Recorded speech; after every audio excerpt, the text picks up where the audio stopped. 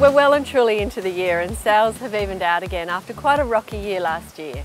The drop in interest rates will bring even more buyers to the market. The upcoming election may cause some uncertainty in buyers as we get closer to July. This gives both buyers and sellers a clear window over the next couple of months to get moved.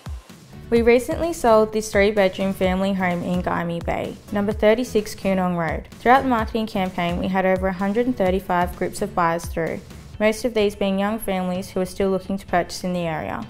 We currently have three houses for sale in Bundeena and one in Maianbar. This house at 124 Eric Street is perfect for a young family or downsizers looking for a low maintenance, easy living modern property with spectacular ocean views.